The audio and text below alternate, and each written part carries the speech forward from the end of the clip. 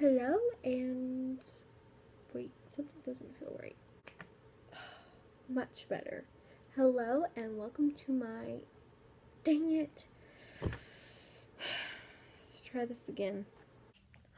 Much better. Hi and welcome to my brain. Today I want to talk about some of uh, my favorites. I figured be a nice little video to get back into the groove of things, so let's get started. Alright, my very first favorite is music, and I wanted to talk about a very awesome cover of a song by Ed Sheeran. The song is perfect, and Joshua David Evans covered it, and it's absolutely beautiful and amazing. It's very, it's simple, but has a, it has a good little twist on it from the original. It's absolutely beautiful. All the links for what I'm talking about will be down below, so be sure and go down there and look in the description. But anyways, Joshua David Evans, his voice is absolutely amazing and it fits so perfectly with the song and I highly encourage you to go check it out. Now my next favorite lately has been Kaitlyn Alexander.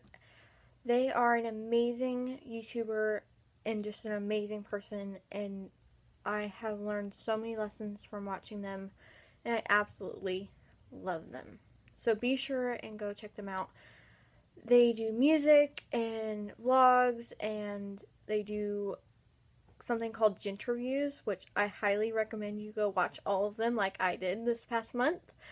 I probably may have spent stayed up very very late in the night watching them and may have watched the series Couple-ish that they have created to stay up till about 3.30 morning watching it so be sure and go check it out and there's actually a Carmilla movie that they are starring in that's coming out soon. I'm so excited to see it. The links for the Carmel series that it's based on will be down below, and so will Couple-ish and everything else, like I said before. But they're amazing, and I highly encourage you to go check them out. They're awesome! Now, since I'm not necessarily that much into like beauty products and things, I kind of know what I like, and that's pretty much what I use and like, and I don't think it would be very interesting personally. I wanted to each month or each time I do a favorites video, which I plan on doing more hopefully soon, um, I want to share a lesson that I had learned that I really, really loved.